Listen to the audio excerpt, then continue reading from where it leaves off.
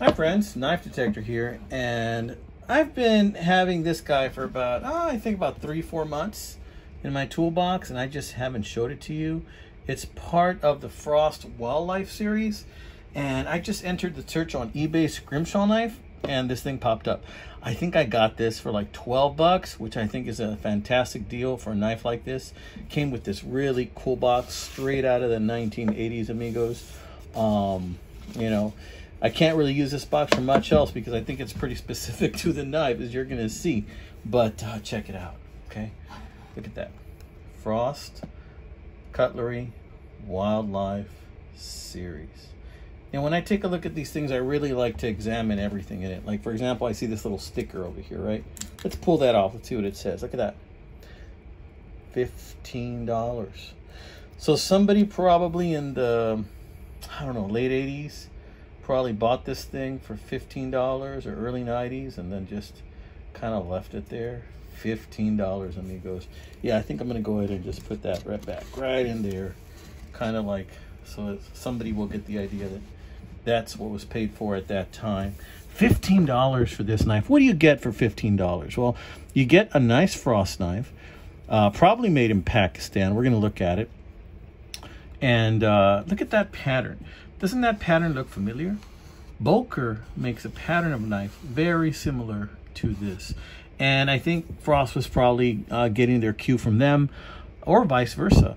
Uh, but it's a real nice pattern. I really like that that style of knife right there where it's got kind of like that uh, copperhead type of design where it kind of hides the tang so you don't get that stuck in your pants or cut yourself with it when you reach in. This also has a little hole in case you want to put something in there. It looks a little too thin for paracord, but but you can probably put a little leather uh, type of a string in there and tie a knot with it. Who knows? Do something with a little leather band there. And uh, let's take a good look at this thing. What do you say? It's a lockback, as you can see, but look at that scrimshaw. That that is bone. That is bone.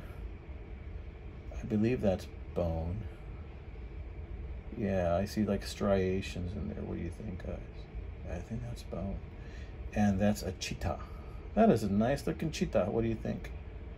Yeah, I like cats. And it, it always astounds me that a lot of knife collectors have cats for pets. so I think that's pretty cool. Um, nothing on the other side. And let's see. Let's open her up. Look at that blade though, guys. It's a nice blade. It's pretty much a flat grind, nail nick. This is going under the name Bear Hunter. Solid snap open.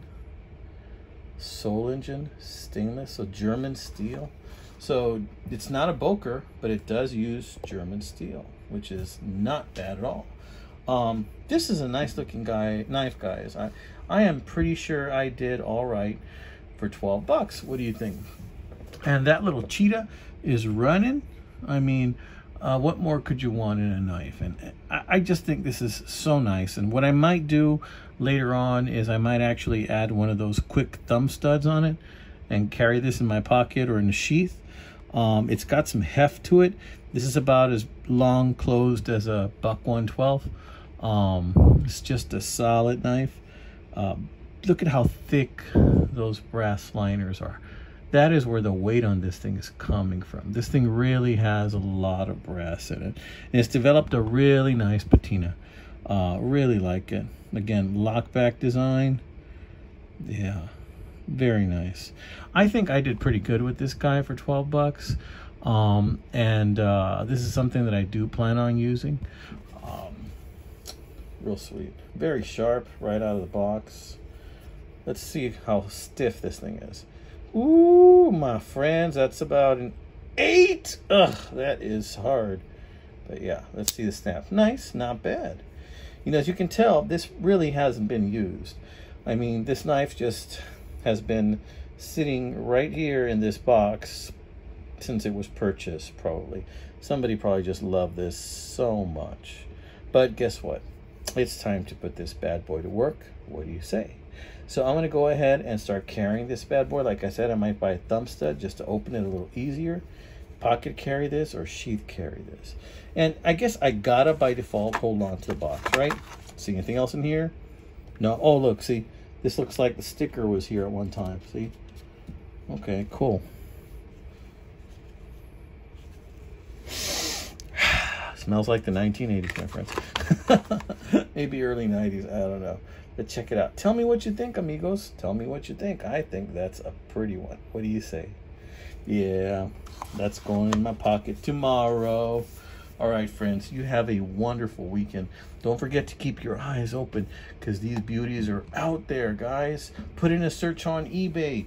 Use pocket knife, scrimshaw knife, brass bone knife, whatever you want to call it. See what comes out uh, ending soonest and see what pops up. You might get lucky, my friends.